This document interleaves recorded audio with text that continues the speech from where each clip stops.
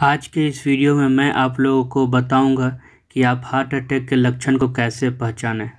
तो चलिए दोस्तों, वीडियो शुरू करते हैं। वीडियो पसंद आए तो लाइक ज़रूर कर दीजिएगा।